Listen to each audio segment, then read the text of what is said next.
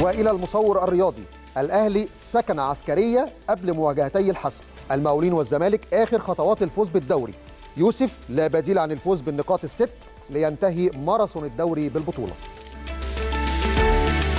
وإلى جريدة المساء قبل لقاء المقاولون العرب قصرة الجاهزين مشكلة لاسارتي في الأهلي. المدير الفني يختار اليوم الفريق المسافر للأسكندرية.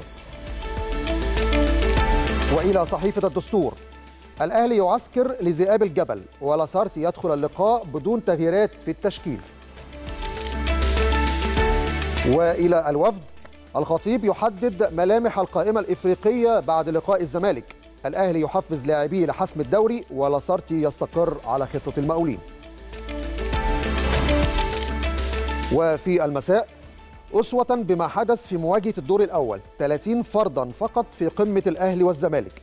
اتحاد الكرة يدعو لاجتماع طارئ لتعديل نظام الصعود والهبوط. وفي اليوم السابع الاتحاد السكندري يدخل سباق ضم محمد شريف والأحمر يعسكر في برج العرب قبل مواجهة الذئاب والخطيب يكشف عن خطة برنامج عائلة الأهلي.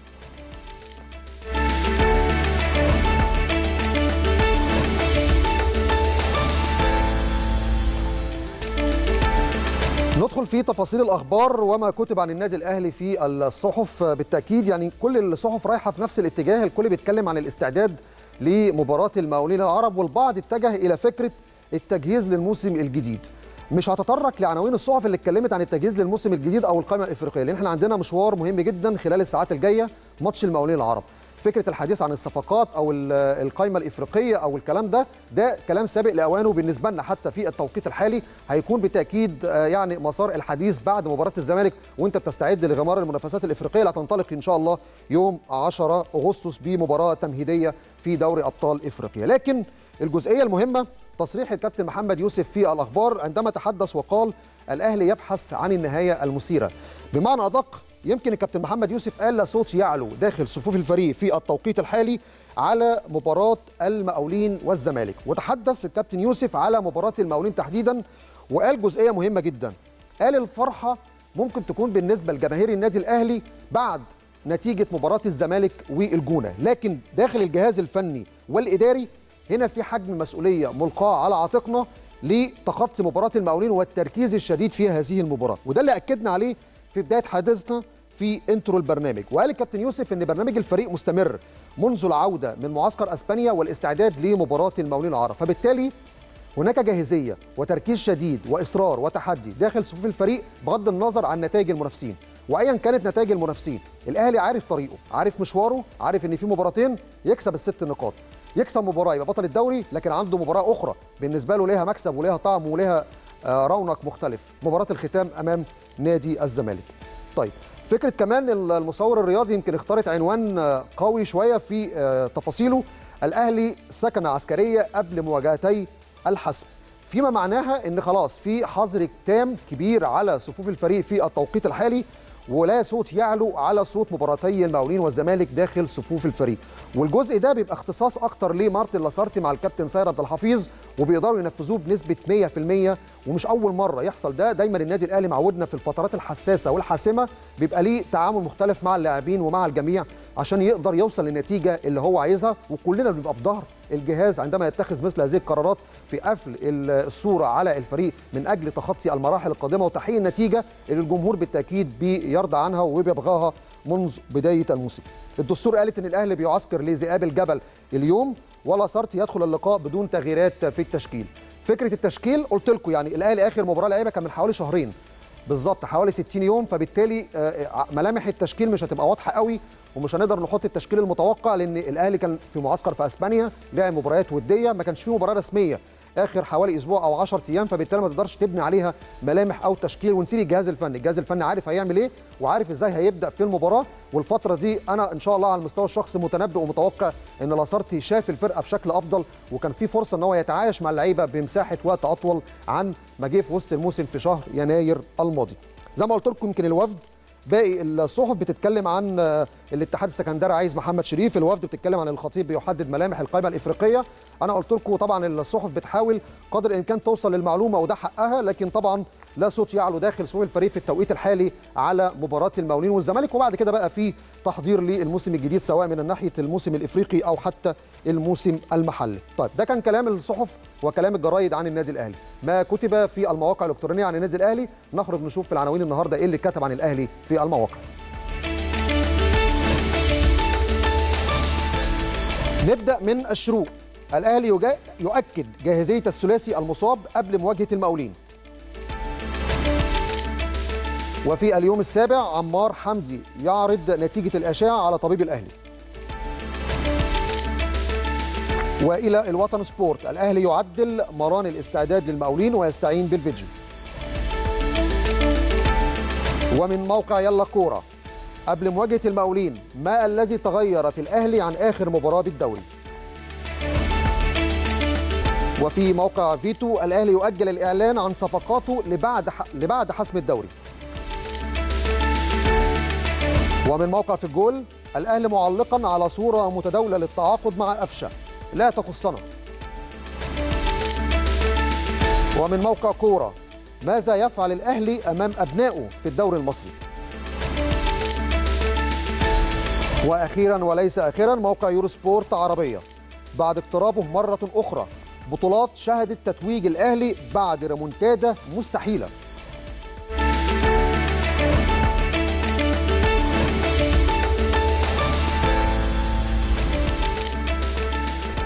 المواقع الإلكترونية فيها موضوعات ممتازة بصراحة لأن في ثلاثة تقارير لفتوا انتباهي وأنا بقرأ الورق. موقع يلا الكوره وموقع كورة وموقع يورو سبورت عربية اهتموا جدا بالناحية التقريرية وده بيبقى فيه يعني اهتمام شديد جدا حتى بالنسبة للقارئ عشان يعرف استعداد الأهلي سواء في الفترة الأخيرة إيه اللي تغير في الأهلي في الفترة الأخيرة إزاي استعد الأهلي للفترة الأخيرة. أول عنوانين متعلقين بإن الأهلي بيؤكد جاهزية الثلاثي المصاب أو حتى عمار حمدي بيعرض نتيجة الأشعة على طبيب الأهلي. أو الأهلي يعدل مران الاستعداد للمقاولين. دي تفاصيل مهمة جدا بالتأكيد هروح فيها إلى زميلي العزيز كريم أحمد من ملعب مختار التتش بالجزيرة على الهاتف عشان يطمنا بقى عن حالة الفريق والاستعدادات وخاصة الأخبار الثلاثه اللي معانا في أول ثلاثة مواقع الشروق واليوم السابع والوطن سبورت. مساء الخير يا كريم. مساء الخير يا زميلي محمد برحب بيك وتحياتي ليك ولكل مشاهدينا. طيب في البداية طبعا أول سؤال بالنسبة لي كنت عايز أعرف إجابات على هذه الأسئلة. لأن الشروق حطت عناوين هي واليوم السابع والوطن مهمة جدا في الاستعداد الأخير لماتش المقاولين. أول حاجة التدريب بدأ أربعة وخلص ستة مظبوط؟ والله يا محمد هو التدريب لسه حتى هذه اللحظة شغال. التدريب كان مقرر ليه إن هو يبدأ أربعة لكن كان في تعديل كمان. تعديل ثاني بدأ التدريب الساعة خمسة وربع. كان في محاضرة فيديو طبعا لمستر مارتن لاسارتي لاعب النادي الأهلي الوقوف طبعا على كل نقاط القوة والضعف طبعا لفريق النادي المقاولون. حتى هذه اللحظة يمكن التدريب شغال التدريب منقسم لأكثر من جزء. في جزء منفصل اللعيبة اللي نقدر نقول إن هي هتكون مشاركة ومتواجدة في مباراة المقاولون. مركز معاها بشكل كبير جدا مستر مارتن وكابتن محمد يوسف. وفي فصل تام للاعبين اللي نقدر نقول إن هم مش هيشاركوا في المباراة. ده اللي واضح يا محمد من اختيار مستر مارتن النهارده للجرعة التدريبية. لكن بأكد لك على حالة الحماس والجدية اللي إحنا شايفينها من كل لعيبة النادي الأهلي بداية من المحاضرة اللي كانت فيها نوع من التحفيز لكل اللاعبين كابتن سيد عبد الحفيظ اتكلم فيها مستر مارتن كابتن يوسف كل الجهاز الفني الحقيقة محمد اتكلم في هذه المحاضرة اللي يمكن كانت 10 دقائق في منتصف الملعب ومن الواضح كمان إن كان في تركيز كبير جدا على حسم بطولة الدوري العام غدا إن شاء الله. ويمكن كنا سامعين كده الكابتن سيد بيقول المباراة بكرة هتحسم بروح الفانيلا الحمراء وبشخصيه البطل. ده اللي إحنا كنا سامعينه من الكابتن سيد ومن الجهاز الفني. لكن التدريب زي ما بقول لك يا محمد ما فيهوش جزء بدني كبير طبعا نظرا لمباراة الغد في كل جزء خططي في اللحظات كمان اللي أنا بكلمك فيها مستر مارتن مخصص بعض الكرات الثابتة. ضربات الجزاء كمان هيبقى ليها جزء النهارده في التدريب لكن التدريب شغال يا محمد حتى هذه اللحظة لكن كل الأمور إن شاء الله بإذن الله مهيئة للعيبه النادي الأهلي للتركيز غدا أصعب مباراة يا محمد هتكون غدا بالنسبة لبطولة الدوري العام وإن شاء الله النادي الأهلي قادر إن هو يحسم بطولة الدوري العام غدا في مباراة المقاولون أنا معاك يا محمد وفي أي كمان سؤال. طيب أنت أكدت التصريح اللي موجود أو الخبر اللي موجود في الوطن الأهلي يعدل مروان الاستعداد للمقاولين ويستعين بالفيديو. لكن في جزئية بقى متعلقة ما نشر على اليوم السابع إن عمار حمدي بيعرض أو بيعرض نتيجة الأشعة على طبيب الأهلي. هل عندك جديد بالنسبة لإصابة عمار حمدي في تدريب الأمس؟ والأشعة اللي أجراها حالته وجاهزيته للفتره الجاية إن شاء الله؟ يمكن عمار طبعا كدمه كانت قوية جدا وزي ما تابعنا طبعا من خلال الأخبار ويمكن اللعيبة شالته وطلعت بيه من أرضية الملعب المختار الاستيتش لكن النهارده يمكن مجرد وصلنا للملعب وقبل انطلاق المباراه شفنا عمار متواجد في أرضية الملعب لكن طبعا يعني لابس فلات في رجليه طبعا ما قدرش إن هو يتمرن. لكن جري النهارده محمد بشكل منفرد وأكيد كان في أشعة يمكن عملها مع طبيب النادي الأهلي خالد محمود. من الواضح إن ما فيش أي شرخ ما فيش أي كسر الحمد لله. ودي كانت أهم حاجة إن إحنا نقدر نطمن عليها. لعمار حمدي هي واضح إن هي كانت كدمه قوية جدا وده التشخيص التشخيص اللي شخصه الدكتور خالد محمود. النهارده شفنا عمار بيجري منفردا حول الملعب لكن ما شاركش في أي تدريبات كره بجانب مؤمن زكريا اللي بيستكمل برنامجه الموضوع مع أيضا كمان محمد محمود. لكن بأكد لك على عمار يعني الحمد لله هي الخدمة كانت قوية جدا أمس وكلنا كنا فضينا طبعا قلنا من الواضح إن فيها حاجة في وش رجله أو في وش القدم بالتحديد لكن مع جريه النهارده وجريه منفرد ان هو يكون متواجد في أرضية الملعب. الأمور ورم بسيط طبعا يا محمد في وجه القدم نظرا للكدمه لكن ورم بيقل بشكل كبير.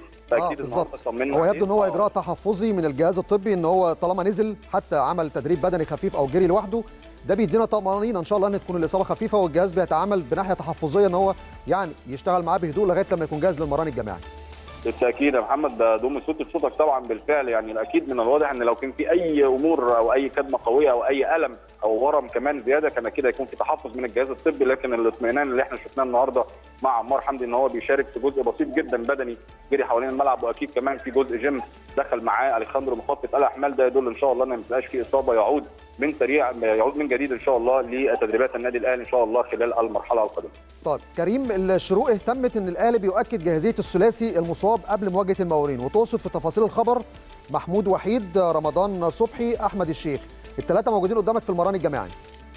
بالتأكيد يا محمد موجودين وده كان سؤالنا الأول للدكتور خالد محمود طبيب النادي الأهلي على جاهزيه الثلاثي هيكونوا متواجدين النهارده. أكد لنا الجهاز الطبي إن يكونوا متواجدين وبالفعل تواجدوا في المران النهارده زي ما بقول لك ما كانش في جزء بدني. كل التدريبات النهارده كانت تدريبات في الكوره شاركوا في التقسيمة. مستر مارتن النهارده كان عامل تقسيمة على جزئين. بيشارك طبعا في تمويه كالعادة للتشكيل أو اللعيبة العناصر الأساسية اللي هيخوض بيها مباراة الغد. لكن اطمنا على رمضان بشكل كبير جدا. أحمد الشيخ كمان بيشارك بكل كل اللعيبة بصراحة. الثلاثي اللي انت أكدت عليهم النهارده اطمنا عليهم جاهزيتهم البدنية والفنية وإن شاء الله محمد بإذن الله أي حد يكون متواجد من الثلاثي من لعيبة النادي الأهلي اللي هيتم اختياره من مستر مارتن والجهاز الفني إن شاء الله يكون يوم النادي الأهلي بكرة يكون جاهز. التركيز مطلوب مهم جدا وده اللي بأكد عليه يا محمد وبطمن كل جمهور النادي الأهلي في محالة تركيز كبيرة جدا جدا من لعيبة النادي الأهلي. إن شاء الله بإذن الله محمد يحسمها النادي الأهلي غدا وزي ما كل جماهير النادي الأهلي بتنتظر بإذن الله. الدوري رقم 41 يكون في مقر النادي الأهلي بإذن الله. تمام. آخر حاجة كريم جيرالدو واجاييه قدامك موجودين في الملعب مع وليد أزارو ومروان محسن وصلاح محسن. موجودين موجودين بالفعل يا محمد وشاركوا كمان في التدريبات الجماعيه بكل قوة اجاي وجيرالدو كل اللعيبة محمد بأكد لك الحالة حالة يعني معنويات مرتفعة بشكل كبير.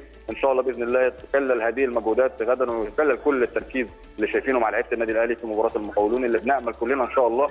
يعني بعيدا عن الأداء وبعيدا عن الجمهور النادي الأهلي بينتظر يكون أداء. مباراة الغد مش محتاجة أداء محتاجة ثلاث نقاط. وإن شاء الله يكونوا من نصيبنا محمد بإذن الله. زميلنا العزيز كريم أحمد كان معانا من ملعب مختار التتش بالجزيره ادانا كل التفاصيل المتعلقة بالتدريب لكن هنرجع لك تاني يا كريم أول ما التمرين يخلص إن شاء الله وتكون معانا القائمه النهائية اللي هيعلنها مارتن لاسارتي قبل السفر إلى برج العرب شكرا جزيلا زميلي العزيز كريم أحمد دي كانت إطلالة كده يعني مهمة جدا من ملعب التتش بالجزيره عشان نطمن عن حالة الفريق وجاهزيه حتى المصابين اللي ابتعدوا فترة قليلة كده الأيام الأخيرة أثناء التدريبات والاستعداد لماتش المقاولين العرب. طيب أروح بقى كمان لعدد من المواقع اللي اهتمت بالتقارير الفنية أو التحليلية قبل مباراة الأهلي والمقاولين. ومثل هذه التقارير بتبقى مفيدة. يعني القارئ حتى قبل ما يتفرج على ماتش الأهلي والمقاولين مهم جدا يعرف آخر 60 يوم إزاي الفريق استعد إيه المتغيرات اللي طرأت على صفوف الفريق حتى كناحية إحصائية أو ناحية رقمية. وأنت بتلعب المقاولين بيدربوا مدرب من مدرسة النادي الأهلي. طب الأهلي قدام قدام الفرق أو قدام المدربين اللي من مدرسة الأهلي إيه النتائج اللي اتحققت أو إيه النتائج اللي قدر يعملها؟ حتى كمان لما الأهلي في بداية الموسم لو متراجع في النتائج عمل ريمونتادا في الوصول للمباراة الختامية في الدوري وقدر يفوز باللقب. ده اتكرر كام سنة. كل دي تفاصيل في أكتر من تقرير على أكثر من موقع وده شيء إيجابي بيسري المادة الإعلامية بالنسبة للوسط الرياضي وبالنسبة للقارئ قبل المباريات الهامة. أنا هبدأ اولا بموقع يلا كورة. موقع يلا كورة راح في جزئية مهمة عشان يعمل فلاش باك ويفكر المشاهد والقارئ بما جرى خلال اخر شهرين نتيجة انشغال الجميع ببطولة إفريقيا للأمم. قال قبل مواجهة المقاولين إيه اللي تغير في الأهلي عن آخر مباراة في الدوري؟ بدأ بالتقرير وقال إن الأهلي حاليا بيتصدر المسابقة 74 نقطة من خوضه 32 مباراة. فاز في 23 تعادل في خمسة خسر أربع لقاءات. وإدى كمان يعني آه تقرير كده عن المقاولين العرب بعد آه نهاية الدوري لأن المقاولين ده آخر مباراة ليه في الدوري. ترتيبه في المركز الخامس ب 48 نقطة. جمع آه هذه النقاط من 33 مباراة. حقق الفوز في 13 وتعادل في 9 بينما تلقى الخسارة في 11 مواجهه آخر مباراة الأهلي لعبها كانت قدام النادي الإسماعيلي يوم 22 مايو يعني بالظبط حوالي 60 يوم قبل مواجهة الغد أمام نادي المقاولين.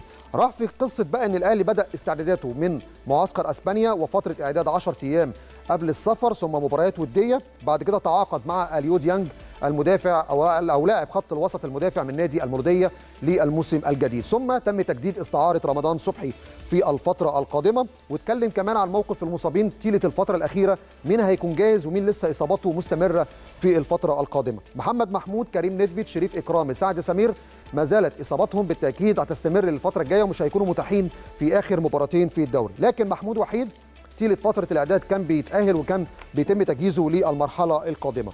ثم كمان راحوا للجزئية الأخيرة وهي متعلقة ب بعد إنهاء الصفقات هيتم تجهيز هذه الصفقات للموسم الجديد بعد نهاية الدوري. اذا يلا كورة عملت فلاش باك على آخر 60 يوم إيه اللي قدر الأهلي يعمله في الفترة دي عشان يستعد لختام المسابقة وبالمرة كمان يشوف إيه الجديد بالنسبة للموسم الجديد. موقع كورة اهتم أكتر بالجزئية المتعلقة عندما يواجه الأهلي أبنائه السابقين اللي لعبوا في الأهلي وبيتولوا تدريب الفرق الأخرى. بدأوا بحسام حسن اللي واجه الأهلي ثلاثة مرات هذا الموسم مع المصري وخسر 2-0 مع بيراميدز وفاز 2-1 وخسر بهدف نظيف لما كان ماسك سموحة. مختار مختار لعب قدام النادي الأهلي لما كان متولي المسؤولية مع الإنتاج الحربي مرتين اللقاء الأول انتهى بالتعادل السلبي وفاز في اللقاء الثاني للنادي الأهلي 1-0 عماد النحاس خاض لقاء وحيد أمام النادي الأهلي هذا الموسم مع المقاولين وكانت المباراة في الدور الأول وفاز على النادي الأهلي 1-0 ثم باقي أسماء المدربين حمادة صدقي أحمد سامي علاء عبد العال علي ماهر رمضان السيد. تقارير بتبقى مهمة جدا للمشاهد عشان أو القارئ يعرف يعني الحاجات الإحصائية والرقمية اللي ممكن بتتصادف معانا أو بتحصل في الدوري العام. موقع يورو سبورت عربية الأخير بقى يعني اتكلم على الريمونتادا. إزاي النادي الأهلي وهو في بداية الموسم بيكون نتائجه ليست على ما يرام أو حتى في تعديلات فنية لكن دايما روح الفانيلا الحمراء أو النادي الأهلي ليه ريمونتادا تاريخيه في الدوري وبيوصل في الرمق الأخير من عشان يقدر يحقق النتائج المرجو منها. يورو سبورت عربية اتكلم على إن ده بقى عرض مستمر مش أول مرة ولا تاني مرة ومش هتكون إن شاء الله آخر مرة دايما النادي الأهلي بيعودنا على اللحظات الأخيرة. بدأ التقرير بموسم 81 82 لما النادي الأهلي كان بيلعب مع الزمالك في الدوري وكان الزمالك متفوق بست نقاط في المسابقة ورغم إن الفائز كان ممكن يحصل على نقطتين عشان يفوز بالدوري العام. وكان ساعتها الأهلي متأخر بثلاثه مباريات قدام نادي الزمالك لكن قدر الأهلي في موسم 81 82 يعود بسرعة ويعمل ريمونتادا في آخر ثلاثة جولات ويفوز بالدوري بعد صراع شرس مع الزمالك ويحسم المسابقة بفارق نقطة. موسم 95 96 وما أطلق وقتها على فريق نادي الزمالك إن هو فريق الأحلام. طبعا كان الفرق ساعتها حوالي 13 نقطة لكن قدر النادي الأهلي إن هو يعود من بعيد ويصل في الرمق الأخير من المسابقة ويفوز بالدوري. بعد ما كان الفرق 13 نقطة لصالح الزمالك بقى الفرق أربع نقاط لصالح النادي الأهلي. موسم 2010 2011 الأهلي كان متأخر عن نادي الزمالك بفارق سبع نقاط. وعانى الأهلي ساعتها من تغييرات فنية في منتصف الموسم ليتم التعاقد مع مانويل جوزيه في ولايته الثالثة. بعد ما سبع نقاط كان الفرق بين الأهلي والزمالك قدر الأهلي يحسم المسابقة قبل نهايتها بثلاثة جولات.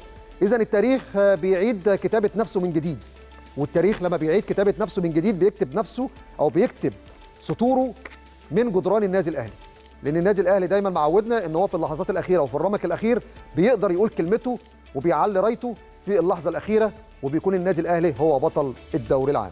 طيب بعد أخبار النادي الأهلي وما كتب على الصحف والمواقع نروح نشوف بقى أخبارنا المحلية والعالمية وأخبار محترفينا على مواقع الإنترنت.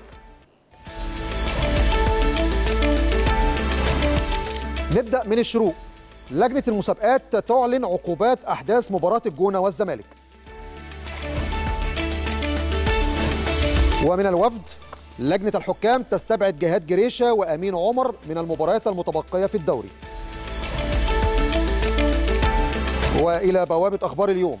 تعرف على نظام تصفيات الاتحاد الإفريقي لمونديال 2022 ومن بوابة فيتو كاف يحدد موعد إرسال القوائم النهائية لأمم إفريقيا الأولمبية.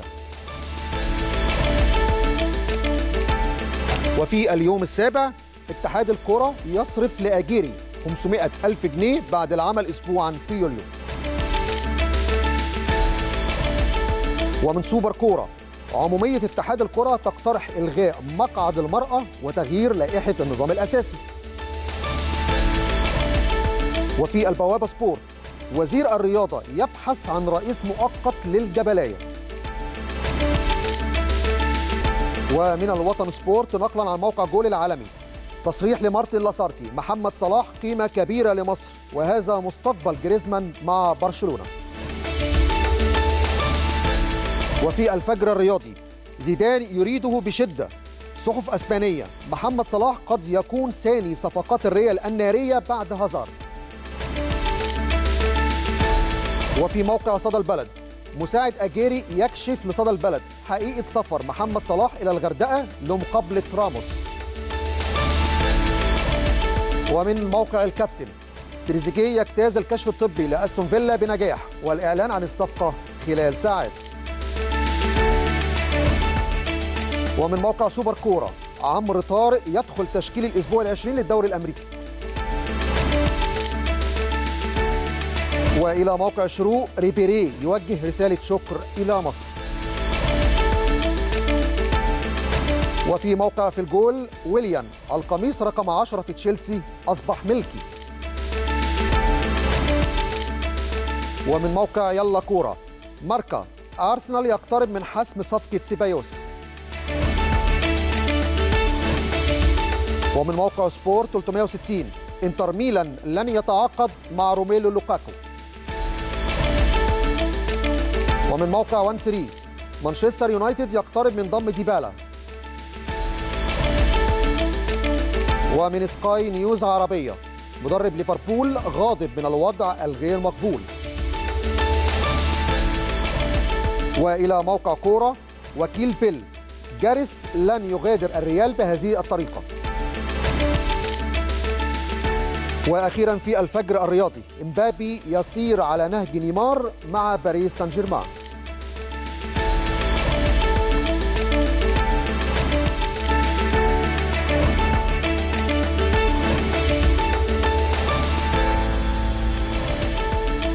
أهلا بكم من جديد الأخبار المحلية والعالمية وأخبار محترفين فيها أخبار ساخنة ومثيرة لكن أخبار الدوريات الأوروبية والاستعدادات للموسم الجديد فيها تفاصيل مهمة جدا وتصريحات مثيرة وفترة انتقالات أكيد فيها تفاصيل مهمة جدا لأن في لاعبين كبار هينتقلوا من نادي كبير لنادي آخر سواء باريس سان جيرمان أو برشلونة. موضوع نيمار موضوع هازارد فيها تفاصيل مهمة جدا لكن أبدأ أول بالشأن المحلي والكرة المصرية والأخبار المحلية.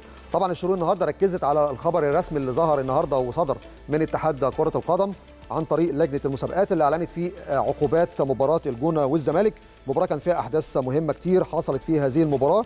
تم إيقاف طبعا عدد من اللاعبين ثلاثة مباريات بعد الكارت الأحمر المباشر أبرزهم يوسف أوباما وأحمد ياسر ريان بعد الإنذار الثاني أو الإنذار الثالث هيتوقف مباراة واحدة وده هيكون سواء بالنسبة طبعا للموسم الجديد لما الجونة يبدأ موسمه إن شاء الله المحلي في الفترة القادمة. طيب كمان مهم جدا الوفد النهارده ركزت على لجنة الحكام بتستبعد جهاد جريشة وأمين عمر من المباريات المتبقية في الدوري العام ده بناء على طلبهم يعني جهاد جريشة وأمين عمر كانوا لعب بطولة أمم إفريقيا. جهاد لعب حوالي مباراتين.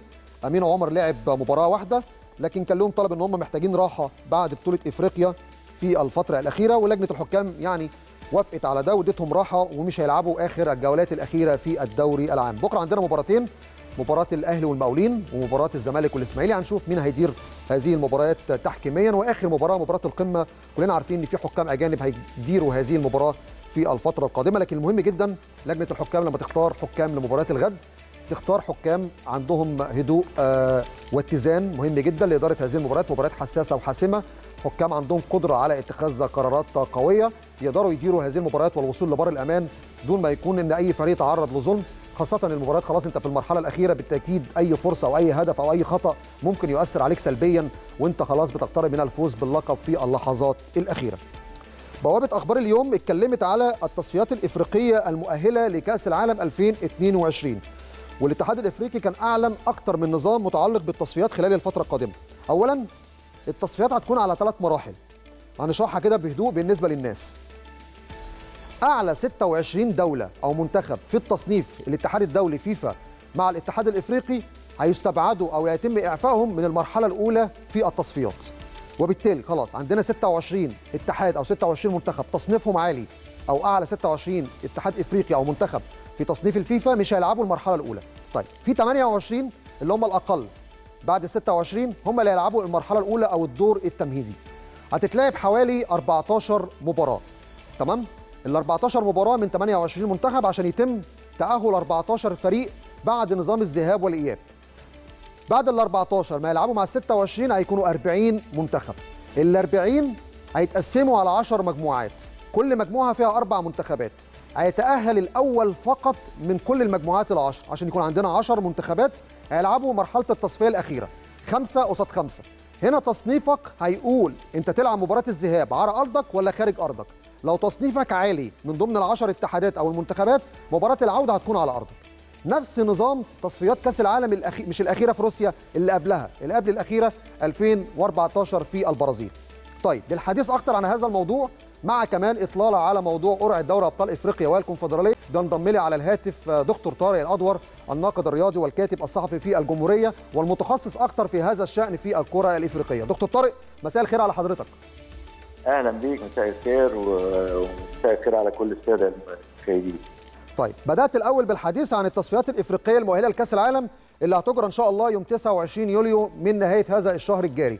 تعليقك على هذا النظام والتصفيات واللي اختلفت عن تصفيات مؤهلة لروسيا إلى البطولة الماضية؟ هو بص الحقيقة يعني إن إن اختلاف النظام رجع للنظام بتاع البطولة قبل الماضية. اختلاف النظام ده بيخلي في مواجهة فاصلة مع منتخب من المنتخبات الكبيرة لأن آخر 10 منتخبات بيوصلوا. بيلعبوا خمسة ضد خمسة وبيلعب الفريقين مباراة على ملعب كل فريق. فدي المرحلة الصعبة. لو تذكر إن في 2014 كنا تجاوزنا المجموعة ووصلنا للدور الحاسم ده مع 10 منتخبات بيلعبوا خمسة ضد خمسة. فوقعنا في غانا أما وقعنا في غانا طبعا بالظبط. تتذكر الموقعة الشهيرة اللي خسرنا فيها آه واحد ستة. كانت ذكرى سيئة. اكره آه بالظبط. وكسبنا 2-1 في القاهرة. فما قدرناش نتأهل لكأس العالم. النظام ده فيه ميزة وعيب. الميزة اللي فيه إن أنت مش هتلعب عدد كبير من المباريات. أنت كل المباريات اللي هتلعبها هتلعب لأن طبعا مصر ضمن أفضل تصنيف ل 26 منتخب. هو ال 26 منتخب الأوائل في التصنيف هيجنبوا من اللعب في الدور التمهيدي الأول. فبالتالي ال 28 فريق اللي هم من ال 27 حتى ال 54 ضمن ال 54 دولة كاملة دول هيلعبوا في المرحلة الأولى للتصفيات اللي هو الدور التمهيدي. تمام. إحنا مش هنلعب فيه. هنلعب إيه؟ في الدور الثاني اللي هو المجموعات اللي فيها كل 10 مجموعات كل مجموعة فيها أربع منتخبات. فهنلعب ست مباريات. ثم مباراتين حاسمتين اللي هما المباراتين بقى اللي هيبقوا فيصل بعد وصول 10 منتخبات للدور الأخير. يعني معنى كده إن منتخب مصر هيلعب 8 مباريات بس من الأول للآخر. مفيش غيرهم هم 8 مباريات فقط. بالظبط. هيتأهل على طول إن شاء الله. الأول والثاني يعني الأول منهم إلى المجموعة. لكن مهم جدا يا دكتور طارق وإحنا بنختم مباريات المجموعات يكون مصر تصنيفها أعلى خمس منتخبات إفريقية. عشان لما تلعب النوك أوت في المرحلة الأخيرة تقدر تلعب مباراة العودة على أرضك وأنت ساعتها محقق نتيجة إيجابية خارج أرضك. لا ده كمان ده صح أنت كلامك صح بس في عنصر أهم كمان اللي هو ان إنت مش بس إنك تلعب مباراة على أرضك إنك تلعب مع فريق أقل تصنيفا. الخمسة المصنفين الأوائل مظبوط. دول هيلعبوا مع مع مع الخمسة المصنفين التواني. فأنا اللي حصل في 2014 إننا كنا ضمن التصنيف الثاني فوقعنا في فريق قوي اللي هو غانا. بالظبط. كنا وقعنا مثلا في إحنا مصنفين الخمسة الأوائل كنا وقعنا مع فريق زي أثيوبيا ساعتها. أثيوبيا اتاهلت للعشرة الكبار دول. فإحنا وقعنا في منتخب تقيل. فلازم انت تطلع في الخمسة الاوائل تكون مصنف في الخمسة الأوائل عشان تقع في منتخب مستوى أقل شوية. أكيد. طيب الجزئية الثانية قرعة دوري أبطال إفريقيا وكأس الكونفدرالية وكانت فيها مفاجآت مش في المباريات اللي هتتلعب لكن التصنيف وكيفية إجراء القرعة كان فيها نتائج غريبة شوية أو قرارات غريبة شوية. يعني مثلا في دوري الأبطال تم إعفاء ثلاثة أندية فقط حسب التصنيف الترجي والوداد ومازيمبي. في الكونفدرالية تم إعفاء 11 نادي. من التصنيف أبرزهم هيكون ثالث الدوري المصري من الأدوار التمهيدية. إيه الأسباب اللي خلت القرعة أو المباريات التمهيدية المرة دي غير اللي ما كان بيحصل في آخر خمس ست بطولات؟ بص هو اللي خلى كده هو مفيش تعديل في النظام ولا حاجة. مش عارف ليه الناس عندها انطباع إن تم تعديل النظام بحيث إن مثلا فريق زي الأهلي له نتائج متميزة وهو المتصدر للتصنيف الأفريقي يلعب في ال- ال- الأدوار دور. تمهيدي زي زي النجم الساحلي كمان. بالظبط. أول مرة في التاريخ بالظبط. فريق اللي هو آه، النادي الأهلي هيلعب من تاريخه من الدور التمهيدي الأول ده أول مرة. طب إيه اللي حصل؟ اللي حصل إن المفترض وده يمكن ناس كتير مش مت... مش م... مش مش متفاهماه قوي لو جت الأندية الأفريقية بالكامل يعني إحنا عندنا 54 اتحاد أفريقي لو جم بالكامل. كلهم وشاركوا في بطولة دوري الأبطال وكلهم شاركوا في دوري في البطوله الكونفدراليه مش هيكون في ولا فريق هيعفى من الدور الثمانين طب إزاي؟ هقول لك بقى إزاي. هم عملوا حسابهم إن 54 دولة إفريقية موجودين منهم ال 12 الأوائل اللي بيصعد منهم الأول والثاني بقية الأندية آه،. بقية الدول كلها بيصعد الأول بس. أعلى 12 اتحاد في التصنيف بيبعت أسم الأول والثاني في الدوري. بالظبط الأول والثاني في الدوري. ونفس الكلام في الكونفدرالية ال 12 أو على 12 فريق بيطلع الأول والثاني أو يعني إيه بيطلع مثلا بطل الكاس وثالث وثالث الدوري أو الثالث والرابع. آه أو الثالث والرابع زي ما إحنا قررنا كده عشان ما لعبناش كده. ففي النهاية بهذا النظام النظام اللي أنا بقول لك عليه ده لو أنت قلت ان ان إن اثنين وخ... إن من ال 54 دولة 52 هيوصلوا وال 12 الأول أول وثاني هيبقى عندك العدد الكامل اللي هو 64 اللي حصل في البطولات اللي فاتت كان عدد الدول اللي بيلعب أو بيشارك أصلا مثلا على سبيل المثال السنة اللي فاتت لغاية السنة اللي فاتت كان مشارك كام نادي؟ 59 نادي. تمام. وقع في خمس أندية. فكان بينهم النادي الاهلي اللي هو في التصنيف أعلى خمس أندية. بالظبط. تمام. أعلى خمس أندية خلي بالك في آخر خمس سنوات. آخر خمس بطولات. آخر خمس سنوات بس مش تمام. مش مدى لأن لو لو كنا بناخد الأعلى الخمسة في التصنيف بشكل عام كان لازم الأهلي هيجي بينهم لأن لا زال الأهلي والأهلي على فكرة لو بعد حتى ترتيبه الرابع القادمة مم. لا زال لا زال هو المصنف الأول في التاريخ لكن مم. مش في آخر خمس سنوات آخر خمس سنوات لما الأهلي خسر النهائي والسنة اللي فاتت خرج حتى من دور الثمانية. فتراجع الأهلي للتصنيف بعد الن- الناديين الثلاث أندية اللي هي كانت موجودة آه، اعفيت اللي هي مازيمبي والفريق الترجي والوداد. نهائي الترجي والوداد اللي هم وصلوا للنهائي ده بتاعهم حتى سان داونز اللي فاز بالبطولة 2016 من مش من أعلى خمس أندية في التصنيف. مش من أعلى برضه. بالظبط. هم الثلاثة بس اللي اعفيوا اللي هم زي ما قلنا مازيمبي والوداد والترجي. فطبعا النادي الأهلي لعب من الدور التمهيدي في نفس الكلام ال 11 نادي. اللي هم أو تم إعفائهم من المشاركة في الدور التمهيدي في الكونفدرالية إيه ال 11 نادي دول خدناهم إزاي بيشوف التصنيف بتاع آخر خمس سنوات فجه من ضمن المصنفين سواء الثالث أو الرابع في, في, في عندنا في مصر اللي هم مين بقى؟ خلي بالك لا زال حتى الآن محدش عارف مين الثالث آه، بالظبط محدش عارف مين الثالث لأن ممكن إيه؟ ممكن دلوقتي ده فرض جدلي إن مثلا الزمالك يخسر من الإسماعيلي ويخسر من الأهلي. الزمالك يبقى هيبقى هيلعب في الكونفدرالية. أو يتعادل مع الإسماعيلي ويخسر من الأهلي هيبقى ثالث برضه. برضه لأن لازم الزمالك عشان يعدي بيراميدز ياخد نقطتين على الأقل. لأن لو تساوى معاه في الرصيد بيراميدز كان فايز على الزمالك في مباراة. في المواجهات المباشرة. في مباراة. آه في المواجهات المباشرة فايز عليه. فبالتالي لازم الزمالك عشان يعديه ياخد نقطتين. فشوف إحنا بن- بنحسب حسبة إزاي؟ الوقت كده في هذه الحالة حتى. لو الأهلي كان بطل الدوري وهو اللي لعب في دوري الأبطال ما إحنا ما نعرفش مين الثاني اللي هيلعب في دوري الأبطال. تمام. ولو لو الزمالك ما نجحش في إنه يحتل المركز الثاني ولعب في الكونفدرالية هيلعب في الكونفدرالية مع المصري. فالفريق الأول في الكونفدرالية دي اللي هو المصنف الأعلى ده هو الفريق الوحيد اللي هيعفى من اللعب في الدور التمهيدي. وهل تتخيل ممكن يكون بيراميدز هو ثالث الدوري والوحيد اللي مش هيلعب دور تمهيدي؟ بالظبط يعني ممكن تخيل ولم يسبق له المشاركة في البطولات الإفريقية من قبل. ما ما سبق له. لكن هو إيه؟ عشان 11 بس بالظبط. اتصنف اتصنف الفريق المصري اللي هو ال- ال- الأعلى تصنيفا عشان الاتحاد. المصري تصنيفه أعلى 12 اتحاد. بالظبط بالظبط كده. صنف إن هو هيبقى يعفى من اللعب في الدور الثاني أكيد فده السبب اللي خلى الناس فاكرة إن النظام اتعدل لا هو النظام ما اتعدلش ولكن من ناحية إن النادي الأهلي طبعا ابتعاده عن اللقب فترة طويلة و و و و وإن هو لم يكن في السنوات الخمسة الأخيرة ضمن الثلاثة الأوائل مم. وزيادة عدد الأندية يعني إحنا كل عارف من من خمس ست سنين كان عدد الأندية اللي بيشارك حوالي مثلا 51 52 فكان في في مثلا عندك 10 مساحة فرصة إن أنت تحط أندية أخرى في الدوري التمهيدي. بالظبط. بالظبط، كل لما تمام. بيزيد العدد بيزيد عدد الأندية اللي بتقف. فوصل في آخر مرة عشان إحنا 61 نادي السنة دي ده أعلى عدد من الأندية يشارك في دوري الأبطال أو في أي بطولة إفريقية في التاريخ. 61 نادي. أكيد أكيد. ثلاثة بس هم اللي تم إعفائهم وبالتالي آه، النادي الأهلي في كل الأحوال لو شارك هيكون آه، من الدور الثاني أكيد. إن شاء الله تنطلق المباريات الدور التمهيدي 10 أغسطس ومباريات العودة 23 أو 24 أو 25 أغسطس. دكتور طارق الادور أنا بشكرك شكرا جزيلا على كل هذه المعلومات.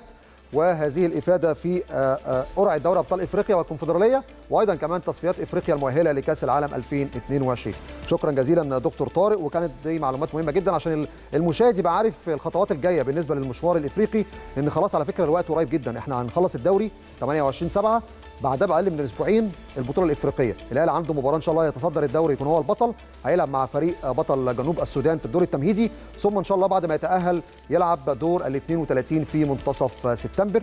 وإن شاء الله بإذن الله يقدر الأهلي يتخطى هذه المباريات ويتأهل إن شاء الله لدور المجموعات ويبدأ بقى غمار المنافسات الإفريقية عشان يرجع إن شاء الله لهذه البطولة الغالية بعد غياب حوالي آخر خمس ست سنوات بعد آخر فوز بيها سنة 2013 طيب سريعا كده في آخر دقيقة أو دقيقتين قبل ما ننتقل طبعا للفقرة الحوارية في كلام في الميديا اللي بينورنا النهارده فيها ضيف مهم جدا وصحفي آه ليه باع طويل جدا في الوسط الرياضي الأستاذ عبد المنعم فهمي مدير تحرير الأهرام الرياضي. في تصريح مهم جدا النهارده لمستر مارتن لاسارتي هذا التصريح كان عبر موقع جول العالمي. اتكلم فيه عن محمد صلاح واتكلم فيه كمان على جزئية المرحلة القادمة بالنسبة لمنتخبنا الوطني أو حتى بالنسبة للنادي الأهلي.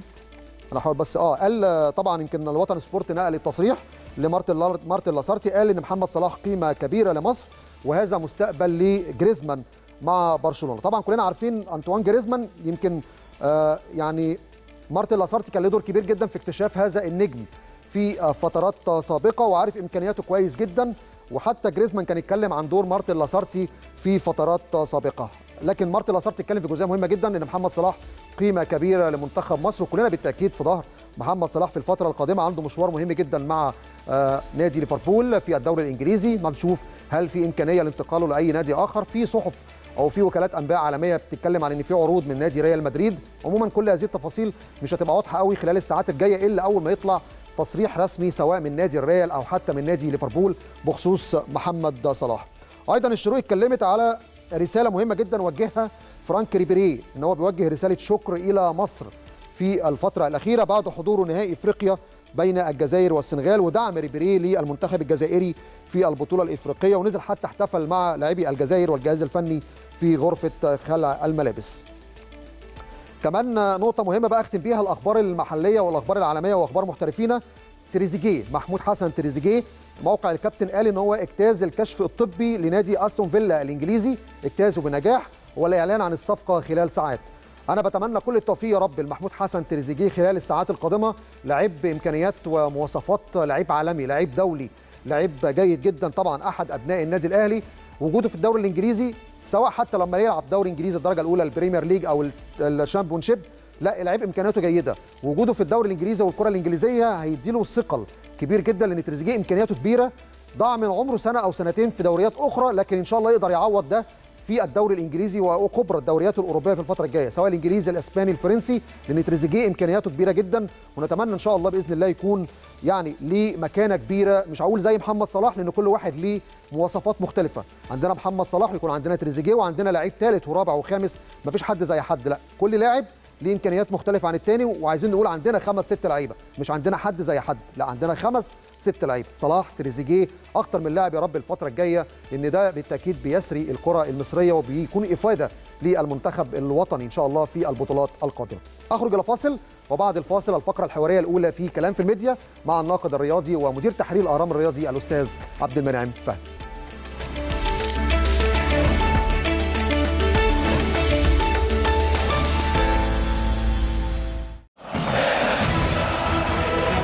من جديد والفقرة الحوارية الأولى من برنامج كلام في الميديا. فقرة مهمة جدا لأن معانا كاتب صحفي كبير ليه باع طويل في الصحافة الرياضية. اشتغل في تحقيقات واشتغل في أخبار وكواليس وعنده تفاصيل مهمة جدا. ودايما كده حيادي وليه رأي في أي موضوع متعلق بالكرة المصرية ورأيه للهدف وللصالح العام. وجوده النهارده مهم معانا إن كمان جاي قبل ليلة مباراة الأهلي والمقاولين والوسط الرياضي وما يشهده في الفترة الأخيرة ضيفي وضيفكم الكاتب الصحفي الكبير ومدير تحرير الأهرام الرياضي الأستاذ عبد المنعم فهمي أستاذ عبد المنعم منورنا ومشرفنا إزيك يا أستاذ محمد أهلا بيك متشكرين على المقدمة الجميلة. دي لا ما استحقهاش بصراحة يا ربنا يخليك يعني الله. يخليك يا رب دايما بنتعلم. منكم. ودايما لكم. دور كبير جدا في الصحافة في. الفترة الأخيرة ربنا يخليك تحب نبدأ نتكلم منين تحب اتحاد الموضوعات؟ كتيرة الموضوعات كتيرة وزي زي ما حضرتك شايف الموضوعات آه، مهمة جدا وكلها إن شاء الله نحاول من خلالها إن إحنا نقول الكلام اللي يرضي ضميرنا بحيث إن إن إن الصدمة اللي حصلت في كأس الأمم الأفريقية نحاول نتلافاها بعد كده ان الصدمه كانت كبيرة جدا. والكرة المصرية أي إخفاق ليها أكيد بتأثر على الأندية أكيد بتأثر على المردود الأندية والجماهير وكل ما يهم الشارع الكروي والرياضي تحديدا يعني طيب نبدأ بالأحداث الأخيرة مباريات الدوري نبدأ. بعد ما انطلقت في الساعات الأخيرة وإحنا بنختم موسم مش بنستعد لموسم جديد لكن آه. شفت إزاي الأحداث الأخيرة والدوري وتعادل الزمالك ثم مباراة الأهلي والمقاولين بكرة ودايما إحنا بنوجه رسالة إن الدوري لسه ما خلص لسه ما اتحسمش شايف المباريات على المستوى الفني الإعلام بيتعامل إزاي مع الأحداث هذه المباريات في التوقيت ده؟ وعايزين نختم موسم بشكل كويس عشان نبني عليه للموسم اللي جاي. طبعا اللي بي- اللي بيحصل في الدوري المصري اولا ما بيحصلش في أي مكان في العالم كله. إن الدوري يستمر 364 يوم أو 363 يوم ده شيء غريب جدا وشيء آه، خارج آه، يعني المنطق والعقل. ولكن في النهاية ما حدث حدث وشفنا الأسبوع اللي فات. أنا ببص الأسبوع اللي فات أو المباراة اللي حصلت الأسبوع اللي فات من منظور تاني خالص وهي منظور إن إحنا لما اتعلمناش لسه. لسه بقى. عندنا كان كأس أمم أفريقية عندنا كان شكل جمالي شكل مظهر رائع. شفنا آه، حفلة كروية استمرت لمدة شهر ما اتعلمناش خناقات ومشاكل وتراشقات ومن هنا ومن هنا وناس بتاخد آه، طرد وناس بتتوقف ثلاث مباريات. سوء سلوك مباراة مهمة في الدوري. لكن في النهاية ما حدثت ما حدث في المباراة وانتهاء 2 2 ده خلى ناس كتير جدا بيقول لك الدوري الأهلي. الكلام ده غير صحيح بالمرة. الأهلي يمتلك أربع فرص الزمالك يمتلك فرصتين. فرصتين الأهلي زي فرصتين الزمالك مرهونين بالفوز على الإسماعيلي والفوز على الأهلي بالنسبة للزمالك وبالنسبة للأهلي الفوز على الزمالك والفوز على المقاولين. بالظبط. ده شيء لازم نبقى مسلمين بيه ومفيش حاجة اسمها إن الأهلي فاز بالدوري تمام. قبل نهايته لأنه مش هينفع. طيب هنكمل الحديث في هذا الموضوع لأن. الحديث ده لسه فيه شرح طويل طبعا طبعا نخرج إلى فاصل وبعد الفاصل نواصل حديثنا مع الأستاذ عبد المنعم فهمي مدير التحرير الأهرام الرياضي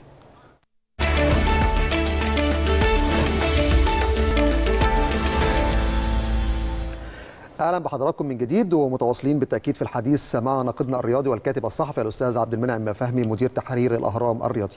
أستاذ عبد المنعم كنا بنتكلم عن مباريات الدوري اتفضل بقى وجهة نظرك في المباريات المتبقية وقلت للأسف كانت في دروس ما خدناش من كأس الأمم لكن رؤيتك بقى التحليلية لباقي المباريات.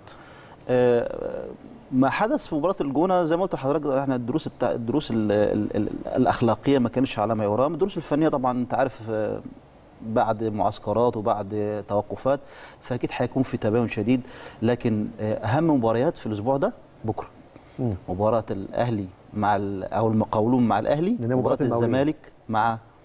آه الإسماعيلي. المباراتين دول مهمتين جدا.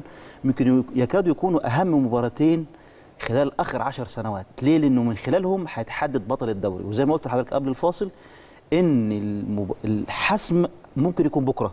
بس هوية صاحب الدرع غير معروفة بالمرة. واللي يجزم بالكلام ده فبيضرب ده بيضرب بالغيب. واللي بيضرب بالغيب دايما دايما بيخسر. ليه؟ يعني إحنا شفنا بعد من في مارس اللي فات وشفنا في فترات سابقة في بعض الناس بتطلع تقول لك اللي هيفوز بالدوري الزمالك. مثلا ويقول لك اللي هيفوز بالدوري آه، فلان الفلاني. فبتطلع تنجم وت- وتحط نفسها في مواقف صعبة ومواقف حرجة. طب أنت عارف المفروض أنت لما تيجي تتكلم على فريق فريق معين تعرف ظروفه إيه وتعرف آه، إيه مميزاته وايه عيوبه قبل ما تتكلم على فريق وإنه هياخد الدوري شوف تاريخه عامل إزاي. شوف قادر على إنه يكمل ولا مش قادر إنه يكمل. شوف الفريق الثاني المنافس اللي هو أنت بتقول عليه هيهبط. ظروفه عاملة إزاي؟ شوفوا طب أنت عامل كام رمو يعني يعني اللي بيتكلم ده أنا بتكلم الجزئيه دي ليه؟ لأن كرة القدم لعبة ال- ال- الحسابات غير المنطقية. ما فيش واحد زي واحد يساوي اتنين. وبتلعب على جزئيات في صغيرة. بالظبط. في حالات الأهلي بيبقى فيها في قمة مستواه والأهلي بي بي بيعمل نتائج مش كويسة. والزمالك نفس القصة. وأي نادي في مصر كده الكرة كرة القدم المصرية لوغاريتمات.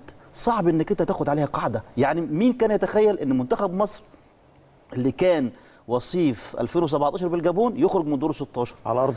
مين يتخيل؟ يعني إحنا نظمنا كأس الأمم الإفريقية خمس مرات دي الخمسة.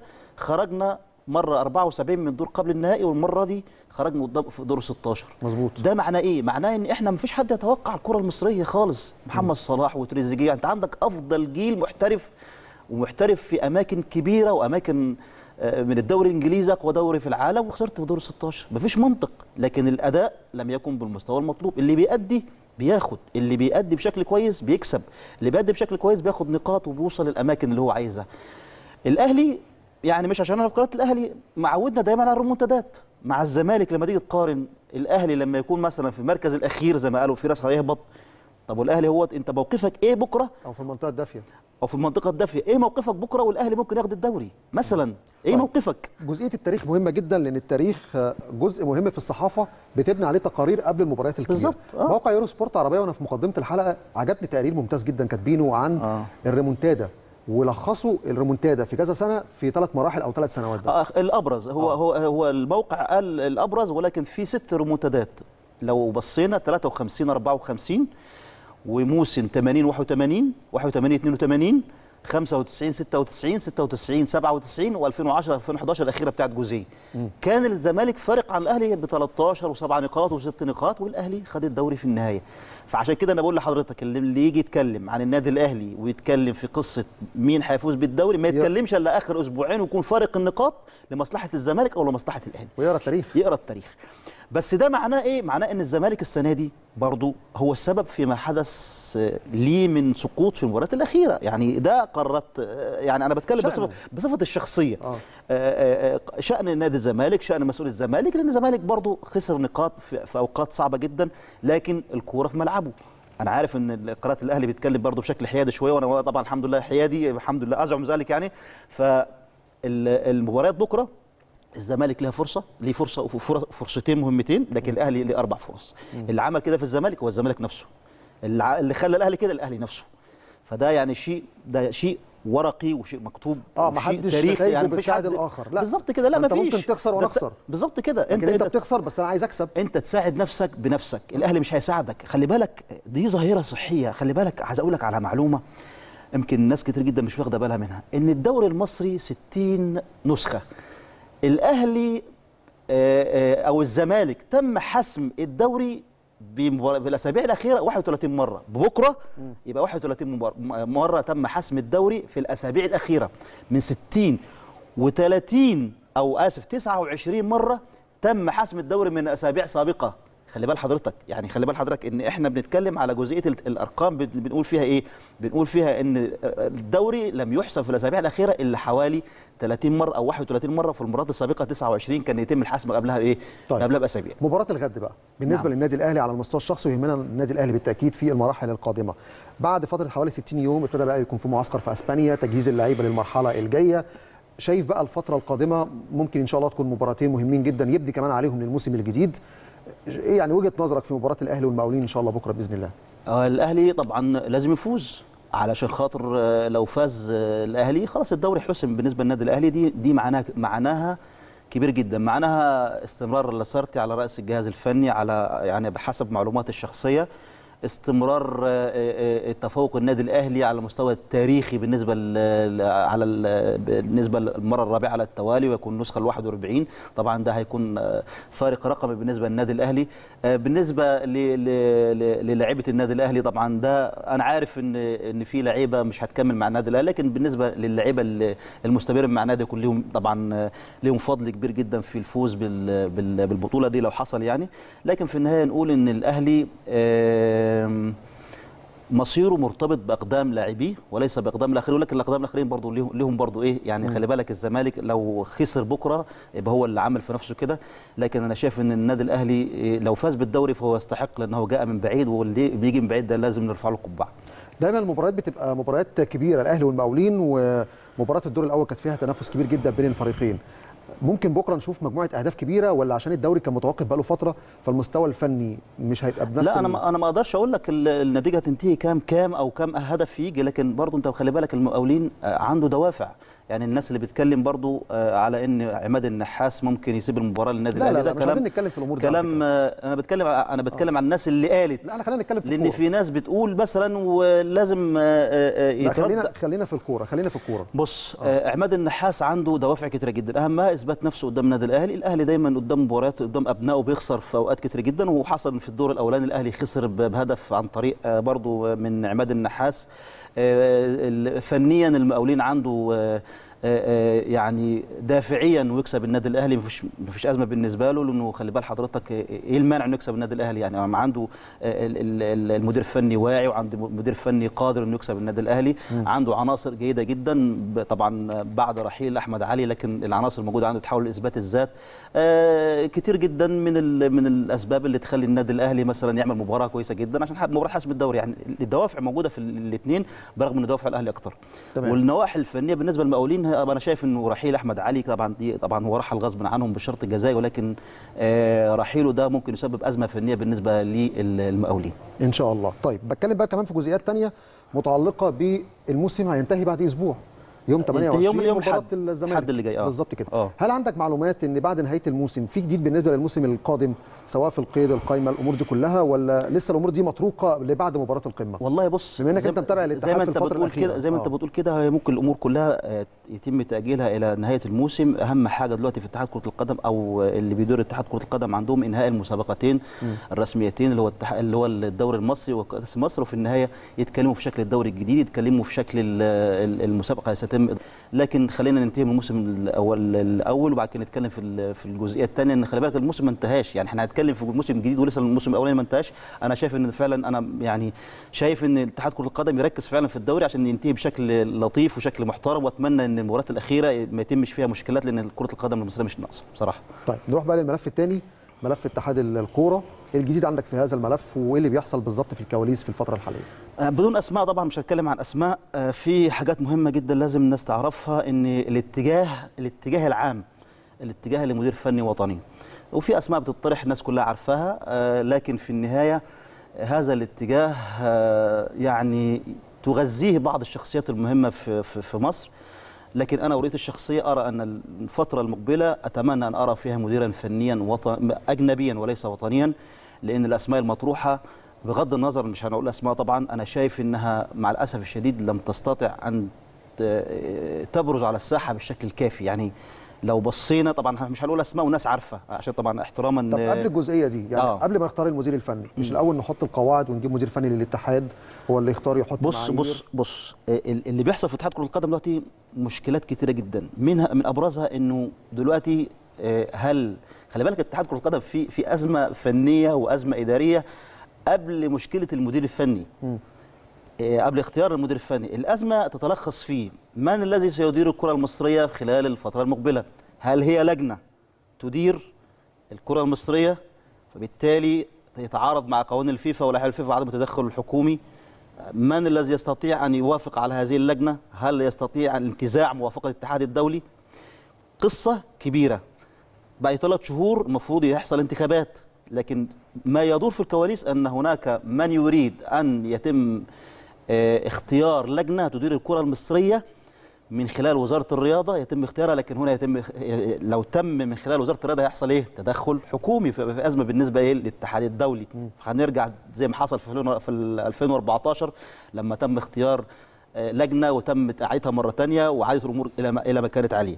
ففي هذه الحالة يتردد ويقال في الكواليس إن هناك محاولات مع هاني أبو ريدة إنه يحاول ينتزع آه، الموافقة من الاتحاد الدولي على وجود لجنة تدير الكرة المصرية خلال الفترة المقبلة دون الاعتبار ذلك من التدخلات ال- ال- الحكومية في الكرة المصرية. دي أهم جزئية شغلة الاتحاد كرة القدم لأن المفروض آه، آه، اتحاد كرة القدم يعمل اولا على تسكين آه، آه، لجنته أو تسكين نفسه في, المكان اللي هو فيه قبل ما يختار إن الناس مش واخدة بالها من جزئية مهمة. أنت بتتكلم على مدير فني. طب مين هيختار المدير الفني؟ الوزير هيختار المدير الفني؟ ما ينفعش. برغم إنه إنما العلم إن هو يعني بيحاول يفرض شخصيات معينة أو يحاول إن يتكلم على شخصيات معينة هو يرى في نفسه إن هو مثلا أحد أسباب مجيء أحد المديرين الفنيين السابقين اللي عمل نتائج كويسة مع منتخب مصر في مرات سابقة ويتمنى عودته مرة أخرى. هو يتشيع لذلك. الكلام طبعا الناس فاهماني أنا بقول إيه. تمام؟ لكن الاداره الاتحاد نفسها الفترة القادمة هو في؟ مشكلة؟ ما مش هتمشي كده. ما أنا قلت أنا قلت لك حضرتك الكواليس أهو. الكواليس إيه؟ من يدير اتحاد كرة القدم؟ هل سيتم الدعوة؟ طبقا, للائحة المدير التنفيذي. المدير التنفيذي. ويدير حتى هذه اللحظة. لكن المدير التنفيذي دلوقتي عايز يعمل لجنة عشان تجيب حد يختار يبقى هو المدير الفني لمنتخب مصر. هو مش هيختار بنفسه لأن لو اختار هو خايف يختار بنفسه. ليه؟ لأنه اختار بنفسه مدير فني وعمل نتائج وحشه مين اللي هيتحمل مسؤولية؟ هو. هو مش عايز يتحمل مسؤولية اختيار ربما يكون خاطئا. أنا بقول الكلام ده على فكرة في كواليس محدش يعرفه. طب قبل ما نخش على فكرة المدير الفني طب ما تيجي الأول نعرف المشاهد إيه الاستحقاقات القادمة لمنتخب مصر؟ عشان تبقى عارفة المنتخب مقبل على إيه. عنده ده عنده حاجات كثيره جدا. عنده تصفيات إفريقيا المؤهله للكان 2021 في وعنده الكاميرون تصفيات كأس عالم. هتتلعب في شهر 11 يعني أنت بتتكلم في وعنده تصفيات في كأس العالم. بطولتين مهمتين جدا آه. اللي هم البطولتين الأساسيتين اللي أي منتخب بيح- بيسعى إليهم اللي هو كأس عالم وكاس أمم. فهو ثروت سويلم الحفظ الألقاب خايف يختار لجنة فنية أو خايف يختار المدير الفني ربما يتم تحميل المسؤولية في حالة الإخفاق والفشل. فبالتالي يحاول أن يعني يتم وضع لجنة بمساعده أشخاص آخرين لجنة فنية مكونة من يقال أسماء. هقول أسماء معلش كابتن آه، علي أبو جريشة آه، طه إسماعيل والكابتن طاهر ابو زيد ربما وحد من الزمالك وربما يتم من خلالهم اختيار المدير الفني. يختاروا بالظبط المدير فنية الفني حتى يتم اختيار السليم. طبعا في الحالة دي يعني بقول لحضرتك اهو اللجنة دي من الممكن ان تختار مدير فني وطني. أنا عن نفسي بتكلم كعبد المنعم فهمي. أنا أتمنى أن يكون المدير الفني آه، القادم اجنبيا لأن هو في الم- المرحلة دي تحديدا محتاجة مدير فني أجنبي بعيدا عن أي مهاترات ومشكلات. خليني أقول لك على حاجة مهمة جدا. قبل ما قبل حاجة مهمة طب ما نروح لفكرة المشروع. طب يعني لا، هو ده المشروع كنت هكلمك فيه. آه. دلوقتي أنت لو بصيت من سنة 98 من أيام فوز الجوهري الله يرحمه بكأس الأمم الافريقيه 98 مم. فاكرها حضرتك طبعا. لو بصينا الأجيال دي من 98 حتى هذا الجيل الحالي لا يوجد كادر واحد يستطيع أن يدير منتخب مصر إلا بعض الأسماء البسيطة جدا. هل يعقل يا أستاذ محمد إن كل هذه ال ال ال ال الأسماء الثقيلة والرنانة من 98 وحتى هذا اليوم لا يوجد كادر أو ثلاث ثلاث كوادر موجودين؟ طبعا مش هقول أسماء. آه، زي ما اتفقنا. آه أنا أنا بحب جدا وأنا بتكلم في أي موضوع أو اي قضية ما اطرحش أسماء لا بالإيجاب ولا لا بالسلب. بس أنا في الحالة دي أنا ما بطرحش أسماء أنا إن أنا أقول أنا دول هيبقوا مدير إيه؟ فنيين. أنا أنا بتكلم على كوادر أنا المفروض إحنا في مصر إحنا دو- دولة مؤسسات ودولة كوادر ودولة آه، آه، تضم بسم الله ما شاء الله 110 مليون آه، مواطن فبالتالي إحنا بس قصدي. اتفضل. قصدي إيه؟ إن أنا نتكلم في المشروع العام أو الفكرة أو المعايير اللي ممكن تنجح الكرة المصرية أو تنجح منتخب مصر. المعايير الأساسية؟ بالظبط. معايير مهمة جدا. اختيار المدير الفني الأجنبي أو المصري اللي يكون عنده طموح ان هو يعمل حاجة شكل لمنتخب مصر ويعمل حاجة آه، آه، مهمة لمنتخب مصر وياخد بها بطولات بشكل معين. يبقى أول ما ينفعش. ما ينفعش مثلا آه، أجيب مثلا واحد لمصالح شخصية. يعني يعني إيه أول اللي مبوظ الكرة المصرية؟ أول حاجة الطموح. بص أنا بقول الكلام ده على مسؤوليه على قناة النادي الأهلي إن معظم المديرين الفنيين معظم وليس كل المديرين الفنيين الأجانب الذين جاءوا لمصر جاءوا بسمسرة. أنا بتكلم على مسؤوليتي الشخصية. الجزئية دي يعني أنا اللي بتكلم أنا بتكلم خلي. بالك خلي بالك خلي بالك. فاهم، أنا أنا أنا أنا أنا أنا كتبت في هذا الباب في الاهرام الرياضي خمس حلقات وست حلقات.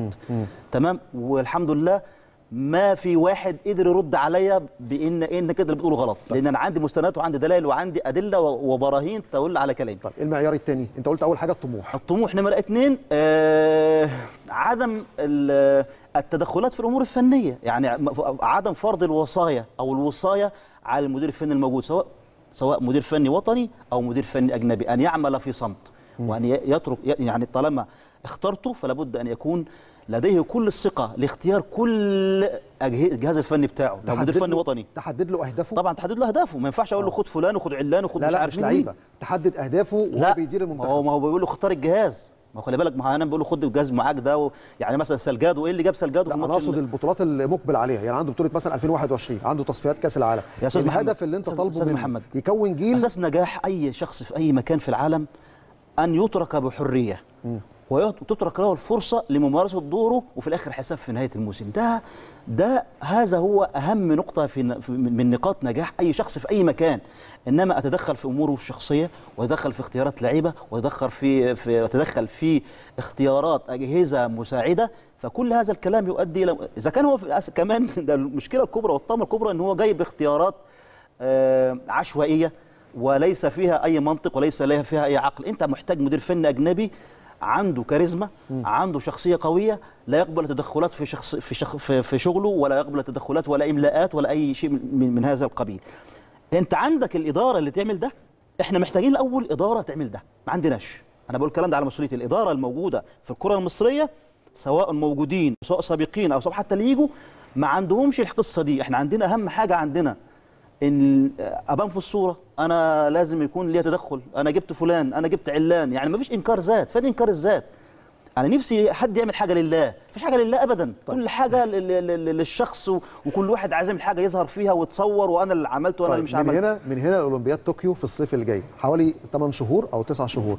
هل أنت مع وجهة النظر ان ممكن يبقى في انتخابات لمجلس جديد يدير الكرة المصرية لا ما هو في 9 بعد شهور؟ اللي هيحصل اللي ولا- أنا قلت لك السيناريو أنت مش واخد بالك. السيناريو اللي هيحصل واللي بيحاولوا إنه يحصل ان هو ينتزعوا موافقة الاتحاد الدولي على لجنة تدوير الكرة المصرية حتى الأولمبياد. ده الكلام قلته لك. لا وجهة نظرك أنت شايف الأفضل لجنة تدير لغاية أولمبياد طوكيو ولا يتعمل انتخابات لغاية أولمبياد طوكيو؟ لا ما هو كده أنا أنا وجهة نظري إن اللجنة تدير أحسن. طب اللجنة اللي هتدير آه، تعدل في لائحة النظام الأساسي آه تعدل. ده فيها ده فيها ده فيها مشاكل كتيرة جدا. تعمل لجان تعمل لجان بس الكورة. بص أنا والله لا يعنيني الأفراد بقدر ما يعنيني الالتزام التام والضمير الحي. الضمير ما هو ال system ده ال system ده مين اللي بيضعه؟ الأفراد. لابد أن يكون ال system موافقا للطبيعة وللضمير وللمنطق. إنما ال system اللي بيتحط مع الأسف الشديد يا أستاذ محمد بيتحط على حسب الأهواء الشخصية وحسب وحسب المصالح الشخصية وده اللي مبوظ الكرة المصرية. أنا متفائل وعندي إحساس إن الفترة الجاية هتكون أحسن من اللي فاتت إن شاء الله عشان محتاجين هو أنا هو أنا أنا أنا أنا كده مش أنا كده مش متشائم برضو. أنا متفائل بس أنا بقول الحقائق الموجودة اللي الناس الناس لازم تاخد بالها منها. ان تمام. إن أنت عندك سلبيات لازم تاخد بالك منها. طيب مهم جدا أعلن قائمة الأهلي إن خلاص الأهلي أنهى التدريب الأساسي أو قبل السفر لبرج العرب.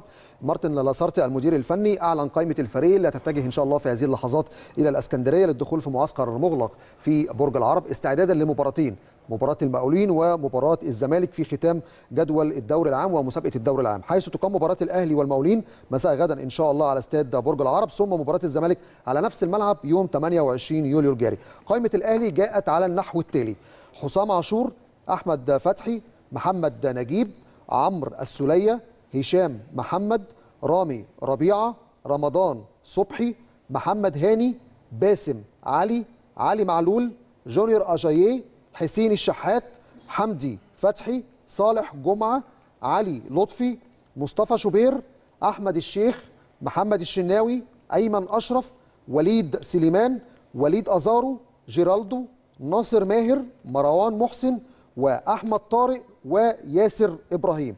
قائمة النادي الأهلي المتجهة إلى الأسكندرية لخوض هذا المعسكر وهذين المباراتين. 26 لاعب استعان بيهم مارتن لاسارتي كتير شوية ما انت عشان. هتتدرب هناك آه كذا هو هو. كده بيعتبر إن هو هو في معسكر آه، تدريبي هناك يبقى موجودين معاه 26 مش مباراة واحدة عشان بس نوضح عارف، أنا للناس عارف، آه. هو الأهلي هيسافر النهارده عنده مباراة بكرة الاربع تحسبا. لاي ظروف تحصل. يبقى في تمرين الخميس في تمرين الجمعة شيء كويس على مش- تمرين. ده شيء كويس جدا. أيام تدريب في برج العرب فعشان كده مسافر ب 26 ده شيء كويس جدا تحسبا لاي ظروف الواحد ما يضمنش الظروف عاملة إزاي لكن آه، واكتمال الصفوف ده حاجة كويسة آه طبعا ده كويس حاجة تسعد الجهاز الفني وأهم بص أنا دايما لما باجي أتكلم في جزئية اختيارات اللعيبة أنا بت- بت- بتمنى دايما أو بركز دائما على قصة أن يكون اللاعب يحالفه التوفيق في يوم المباراة. أي لاعب في الدنيا إذا لم يكن يكن يحالفه التوفيق في يوم المباراة كأنه مش موجود بالظبط وأنا مع حاجة تانية. الجهاز الفني لما بيختار أي قائمة وجهة نظر فنية. آه، ما دي ده شيء مؤكد صح كده؟ ما هو المسؤول. هو مين المسؤول عن الإدارة الفنية؟ المدير الفني. فلا. بد أن يكون آه، بس أهم حاجة يكون واقعي في اختياراته مش لا ما هي اصل أنت كمان مرتبط بحاجة. وكره. أنت مرتبط بص. مرتبط بحاجة كمان. ليه اجري أجري فشل في منتخب مصر ليه؟ لأنه مع الأسف آه هو قيل بعد ذلك إنه في حاولنا نضم عناصر بس هو رفض. يعني عايز تفهمنا الاختيارات اللي تمت دي آه آه، تمت من دماغك أنت؟ طيب يبقى أنت فاشل. يعني خلي بال حضرتك قيل بعد كأس الأمم الأفريقية أن اللاعبين الذين تم اختيارهم تم اختيارهم عن طريق آه، آجري. وبالتالي هو المسؤول عن اختياراته. تمام. طب الجهاز الفني المعاون كان فين؟ يعني هو دور الجهاز كان دوره إيه؟ آه، يعني دور دورك أنت إيه. دورك تقول له واحد اتنين تلاتة أربعة. لو هو اقتنع بكلامك أهلا وسهلا. ما اقتنعش بكلامك هو ما عندوش فكرة. لأن في لعيبة أصلا لم تكن تصلح أن تنضم إلى منتخب مصر وتلعب من الأساس. إحنا مشكلتنا أنا كنت هنا في, في, في القناة كان الأستاذ أمير وقلت له أنتوا عندنا كوارث دفاعية غير طبيعية. وقلت له عندنا في القلب في مشكلتين. الناس مش واخدة بالها منها. يا جماعة والله وحذرت على القناة. وقلت إن عندنا مشكلة إن يلعب أحمد حجازي ومحمود علاء جنب بعض. الاثنين لعبهم متشابه. وإذا لعب الاثنين المتشابهين جنب بعض فبيعملوا أداء متشابه فبالتالي ضربهم بيكون سهل. وده اللي حصل في ماتش جنوب إفريقيا. لو تفتكر الهدف اللي جه ده الاثنين اتضربوا. الاثنين أصلا سايبين أماكنهم. كان المفروض نلعب بحد يختلف تماما عن أحمد حجازي وليكن باهر المحمدي في هذا اليوم. طبعا اللي حصل حصل لكن في أمور فنية لازم ناخد بالنا منها حاجات بسيطة دايما بنقع فيها ودي خطأ مستمر ودائم في منتخب مصر إن دايما إحنا لا نركز على هذه الأشياء اللي يعني محمود علاء هداف الدوري. زي الفل ولاعب كويس جدا لكن في بعض الهفوات الدفاعية ما ينفعش مثلا آخده وهو نفس القصة شبيه في اداؤه لأحمد حجازي. ما ينفعش أحط الاثنين في مكان واحد. هتلاقي التفكير واحد والتصرف واحد والخطأ واحد. فبالتالي سهل ضربهم كأنك بتتعامل مع لاعب واحد. فاهمني. ففي حاجات كتيرة جدا أنت لازم تخلي بالك منها. وفين فين الناس الفنية اللي بتتكلم؟ الجهاز الفني اللي موجود في, في, في منتخب مصر. كان فين الكوارث دي بتحصل؟ كان فين اللعيبة في, ثلاث أول ثلاث مباريات ما كانوش في حالتهم؟ خلي بالك إحنا كنا نكسب يعني بدعاء الوالدين. فين فين الحمية؟ فين فين ال 11 لاعب اللي هم اللي اللي المفروض ياكلوا النجيل عشان يوصلوا بمنتخب؟ هو كان كان كانوا عايزين يوصلوا للنهائي بالشكل ده؟ لا طبعا ده اللي حصل ده رحمة من عند ربنا إن إحنا نوصل لدور ال 16 طب إيه الدروس المستفادة من بطولة إفريقيا للأمم تحديدا على مستوى المديرين الفنيين اللي كانوا بيقودوا منتخبات صغيرة في الكورة لكن قدروا يعملوا نتائج؟ هيرجعنا لنقطة التكوين الكوادر. من 98 قلت لك تاني وبركز على الكلام ده إحنا ما عملناش كوادر. بس يا جماعة نبص بس نقطة في أكمل نقطتي بس أكمل نقطتي عشان مدربين أجانب مش من عندها. ماشي ما المدير الفني الأجنبي في بلاد بتحب تجيب أجانب علشان خاطر تكون نفسها الأول آه. تعمل نفسها كوادر تدريبية. ما هو تونس زينا تونس شبهنا هتكلم على تونس تونس شبهنا. إحنا بنعمل يعني تونس شبه مصر في حاجات كتيرة جدا. حتى الأداء لم يكن مقنعا هم بدخلوا في المباريات وكان في خلافات وفي مشاكل ما بين الجهاز الفني واللعيبة. هم وصلوا بس كده إيه بشكل يعني آه، في بعض التوفيق شوية. لكن لما تيجي تبص شوية تلاقي مثلا ال- ال- المنتخبات الناشئة بيجيب مدير فني أجنبي عشان خاطر يعمل خطط مستقبلية تمشي على أساسها. طب ما أنت عندك السنغال. الراجل معاهم بقى له أربع من خمس أربع خمس سنين وشغال بشكل كويس جدا. الجزائر فطنت إلا إن جمال بالماضي هو الأنسب للمرحلة دي وعمل مباريات رائعة. مش رائع قوي يعني بس هو أفضل وحشين وخد البطولة. إحنا فين؟ إحنا كمنتخب مصر فين؟ فين الأسماء البارزة اللي تقود منتخب مصر؟ مع الاحترام الكامل لكل الأسماء الموجودة أنا شايف إن ولا حد فيهم ولا واحد فيهم يصلح. وجهة نظر الشخصية. فين من 98 تاني هقولها تاني من 98 حتى هذه اللحظة 70 لاعب. يا إما اشتغل في الإعلام قال لك يا عم أنا لسه هوجع دماغي ويشتموني جماهيرتي بيشتمني ويحملوني المسؤولية أشتغل في الإعلام ألبس البدلة الشيك وأروح بالعربية تجيبني وتوديني وأنا بدل الناس بتشتمني أنا أشتم الناس وأنا أتكلم عن الناس وأنا أنتقد الناس ما دي حقيقة تمام. معظم لعيبة مصر اشتغلوا في الإعلام طيب. يا إما في الإدارة يا إما في التسويق يا إما في الإعلانات يا إما ارتضوا بحالهم من يلعبوا في الدرجة الت... يدربوا في الدرجة الثانية يعني في لعيبة أفزازه كبيرة جدا بتلعب في الدرجة الثانية. أو بتدرب في الدرجة الثانية كابتن منتخب مصر بيدرب الفيوم تخيل كابتن منتخب مصر يدرب. يدرب الفيوم ويدرب السكة الحديد ويدرب مش عارف مين ويدرب مين. كابتن منتخب مصر في كأس العالم كابتن تاريخي. فين فين فين, الأجيال؟ يبقى انت بقى بتتكلم عن إدارة فنية في الاتحاد تحط معايير وتعمل رخص تدريبية للمدربين. وكمان طموح مدربين. فين طموح المدربين؟ ما هو وتعد كذا كادر كمشروع للتدريب في الكرة المصرية وكالمنتخبات المفروض بس بس برضه يتم بشفافية يتم ب- بلاش واسطة. أنا بحب فلان يبقى هو اللي هيبقى. ما هو خلي بالك كل الأمور بتتكشف. هو يعني أنا أنا لو لعيب كورة واسطة ولعبت في كورة في الملعب هيبان على إن أنا واسطة. مفيش واسطة مش هيبان. آه،. هيبان. ولو مدير فني واسطة بيبان. اللعيبة بتفضح. خلي بالك اللعيب نفسه أنت عايز تعرف مستوى مدير فني اسأل لعيب كورة. يقول لك إيه ما تسألش غير لعيب الكورة. لأن هو اللي بيتلقى. زي المدرس تسأل التلميذ يقول له ده مستوى ما تسألش إن هو قاعد ده بيشرح في الحصة وبيزعق وبيخبط في على الترابيزة وبيضرب العيال بالعصاية. لا اسأل ال ال ال ال ال الطالب قول له عامل إيه المدرس معاك واسأل اللعيب قول له عامل إيه المدير الفني معاك؟ هتلاقيه تجاوب أقول لك آه ده كويس ده أقول لك ده ما عندوش فكرة. لو قال لك ما عندوش فكرة ما عندوش فكرة بالفعل. إلا بقى لو كان هو بيتكلم كلام مش حقيقي. فعايز تعرف تقيس مستوى قيس مستوى لعيبة. قيس مستوى ما تسأل. بس أهم حاجة بشفافية. أنا بركز على كلمة شفافية ليه؟ لأن ما عندناش الشفافية دي. ما بنلاقيهاش. ولو لقيناها بنلاقيها بنلاقي أصحابها مش موجودين على الساحة م- م- م- بعيدين عن الساحة لأن المصالح بتتصالح زي ما بيقولوا. طيب. إحنا شبكة من من المصالح. والله والله هذا الكلام على مسؤوليتي ما حدث في كأس الأمم الأفريقية ده عقاب إلهي لتفوير الكرة المصرية. لتفوير شوف أنا بقول لك لتفوير. انسف حمامك القديم بكل ما فيه. تمام. طيب بالأمس كان في اجتماع لعدد من الأندية في الجمعيه العمومية القسم الثاني والثالث بخصوص لائحة النظام الأساسي وتعديل عدد شكل المسابقات في الفترة القادمة. عندك تفاصيل عن نهاية هذا الاجتماع؟ ممكن يكون في جمعيه ده لسه يوم الاثنين المفروض اجتماع يحصل. هيحصل في في حاجات جمعيه كتير. عموميه غير عادية فعلا هتحصل الساعات الجاية؟ آه، آه، هذا ما تردد خلال الأيام الأخيرة واحتمال كبير جدا. طبعا أنت عارف يحصل نوع من التشفي يحصل نوع من ال- ال- الحاجات اللي كانوا غير راضيين عنها يحصل فيها تعديلات. هذه الأمور نتمنى أن تكون برضو فيها شفاف فيها شفافية عشان خاطر ما يكونش رد رد فعل أو عصبية أو رد فعل عصبي ده ممكن يسيء إلى الكرة المصرية أكتر. أتمنى ذلك إن اللي هم تم اختيارهم أن يتم من خلالهم تكوين لائحة تليق بالكرة القدم المصرية وتكون في مصلحة الكرة المصرية وليس في مصلحة الأشخاص. خلي بالك معايا أنا بقول لك أنت بتضحك. لا أصل ال- الفترة الجاية محتاجة إن شاء الله تكون في كوادر كويسة تدير الكرة المصرية هي فين؟ للأفضل. هي فين؟ لا في إن شاء الله. فين؟ في في. أنت بتقول في أنا عايز أدي جرعة التفاؤل بس اللي جاي إن شاء الله يبقى أفضل بإذن ما هو الله. إحنا جرعات التفاؤل دي إن شاء الله. اللي اللي عاملة زي البالونات. لا إن شاء الله الجاي أفضل. طيب، بإذن تمام. الله إن شاء الله. طيب. في جزئية مهمة مشكلة. بقى في جزئية مهمة أختم بيها كلامي معاك. اتفضل. تصفيات كأس العالم إن شاء الله يوم 29 7 في مصر تمام؟ مهم جدا في التصفيات استضافه. استضافة ال- ال- ال- القرعه القرعة التصفيات آه قصدك بالظبط يعني قرعة. التصفيات هتكون في مصر. إن شاء الله يوم 29 7 تمام. في جزئية مهمة جدا وأنت بتعمل التصفيات دي للمرحلة القادمة تصنيفك لازم يعلى طبعا لأن بعد أمم إفريقيا على فكرة النهارده كام؟ النهارده 23 7 23. بعد حوالي خمس ست أيام هيطلع التصنيف التصنيف الشهري الجديد، آه. آه التصنيف الجديد متوقع إن المنتخب يتراجع بعد الخروج من دور ال 16 طبعا تراجع التصنيف ده هيأثر عليك وأنت بتتحط في القوائم المنتخبات اللي هتلعب المرحله وهترجع تاني خلي بالك النظام الأساسي القديم بتاع, بتاع أيام 2014. 2004 أيام برادلي. طيب. برادلي عمل ساعتها نذكر الناس. برادلي عمل عمل. عمل نتائج لم تحدث في أي منتخب في العالم. شوف في العالم الوحيد الذي حقق العلامة الكاملة. بس نهايته مع الأسف كانت نهاية سيئة للغاية. طيب التصنيف ده مهم جدا للمنتخب طبعا الوطني. مهم. بس انت هتصنف إزاي؟ ما هو عندك أجندة في شهر آه، تسعة. تمام. أنت عندك أول أجندة للمنتخب أول تسعة. ومحتاج مدير فني قبل قبل شهر تسعة. إيه اللي بتطلبه بالنسبة للمنتخب في الفترة الجاية؟ أو أنت كصحفي بتركز عليه وأنت بتتكلم عن المنتخب عشان موضوع التصنيف. اختيار مدير فني بس مش هيحصل دلوقتي خلي بالك. لا ما انت كمان هتلعب مع مباريات ودية في الأجندة عشان تعلي تصنيفك. محتاجين مدير فني وده مش هيحصل دلوقتي. ولو حصل باستعجال هيحصل الاسماء اللي الناس عارفاها والأسماء اللي إحنا عارفاها دي ما يا إما ما عندهاش يا إما شطبت يا إما خلصت يا إما عملت يعني تاريخها مع الأندية بس مع المنتخبات لأ. ولو مسكت منتخبات مسكت منتخبات بشكل يعني ما كانش المردود ال- على على المستوى المطلوب لأ إحنا مش هنجرب. أنا ما ينفعش أجرب مع المنتخب. لازم أجيب مدير فني عالمي.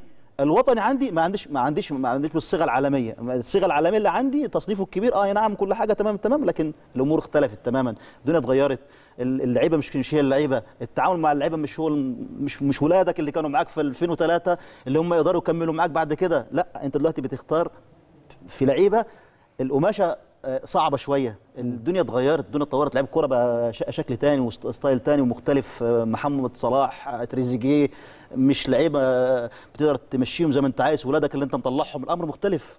مش مش حماس بس مش آه، مش عصبية علاقات شخصية علاقات دولية. كل الكلام ده الناس فاهماني أنا بقول إيه؟ أنا ملتزم بخط القناة إن مش هتكلم عن أسماء لكن لكن لكن لما تيجي لما تيجي تختار تختار السي في اللي قدامك الأصلح للكرة المصرية. فين فين السي في الأصلح للكرة المصرية؟ كل واحد ليه مسالب وعيوبه أكتر من مميزاته. المميزات قليلة جدا. تلحق لما تختار مدير فني أكيد طبعا. تلحق تعدل أو تظبط التصنيف بتاعك قبل المرحلة الأخيرة؟ اختار بقى فرق آه، صغيرة أجندة دولية فرق على على قدك. فرق من ولو إن الكرة الإفريقية ما ما, ما لم مستويات يعني. مستويات آه، مستويات إحنا. شفنا آه، برغم إن في ثمان فرق خرجوا من الدور لكن برضه مستويات عليت. إحنا اللي بنتأخر. على فكرة إحنا بنتأخر. إحنا اللي المفروض إحنا نتقدم. يعني مش عارف. ليه إحنا من ليه يعني ليه ما نكونش في المرتبة دايما المرتبة الأولى اللي, اللي بس بحق وحقيق مش مش بمجرد ترشيحات. إحنا دايما بنترشح في رقم واحد وليفل 1 ومش عارف إيه لكن تيجي على ارض الواقع تلاقي الأمور مختلفة تماما تلاقي الأمر آه، مع الأسف الشديد حتى النجوم اللي أنت بتعول عليهم بتلاقيهم مش خارجين عن مستواهم النجوم ال- يعني نجومك يعني أنت مع الأسف حتى النجوم بتوعك ما بتعرفش تتعامل معاهم يعني أنت ربنا كرمك بواحد زي محمد صلاح لازم نقول محمد صلاح لا وعندك كيفية. التعامل لا أنا بتكلم على محمد صلاح النجم العالمي ده. ده نجم عالمي مصنف ثالث على العالم باعتراف. كل هل تتخيل أن إن الكرة المصرية مش عارفة تتعامل مع محمد صلاح؟ حتى الإعلام ما يعرفش يتعامل معاه. ده موضوع يا عايز- جماعة الأمر اختلف. يا جماعة محمد صلاح غير بتاع طنطا غير بتاع عثمان غير بتاع ال- ال- المقاولين. ده حاجة تانية. ده مؤسسة ماشية. تمام. أستاذ عبد المنعم فاهم أنا بشكرك. شكرا جزيلا. ودايما إن شاء الله تكون الفترة. القادمه إن شاء الله الفترة القادمة تكون كويسة بالنسبة. للكرة المصرية. وإن شاء الله اللي جاي يكون أفضل للكرة المصرية لأن بالتأكيد الكرة المصرية تحتاج آه، جهد كبير عشان تحتاج ضمائر. ضمائر سليمة. إن شاء الله. للصالح العام وليس للمصالح الشخصية. إن شاء بس الله. شاء اهم من. أي شيء. بشكرك. شكرا جزيلا. شكرا جزيلا. شكرا مارتن لاسارتي اختار قائمة ب 26 لاعب عنده مباراتين وعنده تدريبات في برج العرب فبالتاكيد محتاج فترة وقت مع عدد من اللاعبين عشان يقدر يجهز للمباراتين مباراه المقاولين بكرة إن شاء الله. كل حاجة في أقدام لاعبي النادي الأهلي يقدروا إن شاء الله بإذن الله بعد صافره الحكم وال90 دقيقة ما تنتهي والأهلي يحقق النتيجة الإيجابية نحتفل كلنا لكن حتى هذه اللحظة لسه الدوري في الملعب لسه الكورة داخل الملعب وعلى الورق لسه ما فيش حاجة اتحسمت. إن شاء الله في ظهر الفريق وفي ظهر اللعيبة والجهاز الفني نتخطى هذه المباراة ثم مباراة القمة والأخيرة في نهاية المسابقة وإن شاء الله نبارك إن شاء الله بعد هذه المباريات. ونستعد كمان بقى للمشوار القادم لأن الوقت هيبقى ضيق ودايما كده هنقفل الصفحة ونفتح صفحة موسم جديد. إن شاء الله يكون كله انتصارات وبطولات. شكرا لحسن المتابعة والمشاهدة ونلتقي على خير بإذن الله في حلقات أخرى قادمة.